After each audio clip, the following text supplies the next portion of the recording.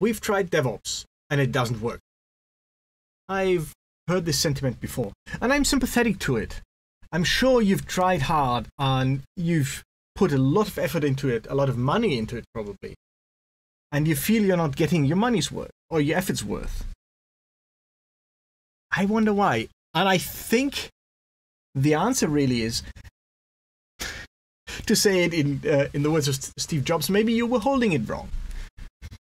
Now, to be less snarky about this, what's DevOps about? DevOps is not about Jenkins or Kubernetes or any other technical solution.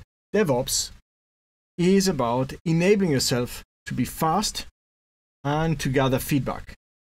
And one of the typical mistakes I, I encounter in my work with my clients is that they don't actually get there. They don't actually get to this place of gathering feedback and of focus on speed, not for speed's sake, but speed for the sake of stability, as interesting as that sounds.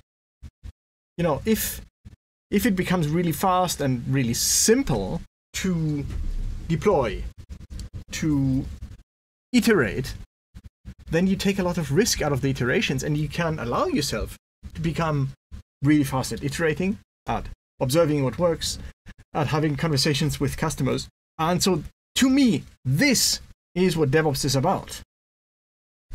Enabling yourself on a technical level, on a cultural level, uh, on a process level, to iterate quickly, which means moving forward quickly, but also it means uh, gathering feedback quickly. And if you do that, then all of the rest will essentially fall into place by itself. Now, not to make it sound like that's no work at all. Of course, it's a lot of work. It's difficult work. It can be tedious work at times.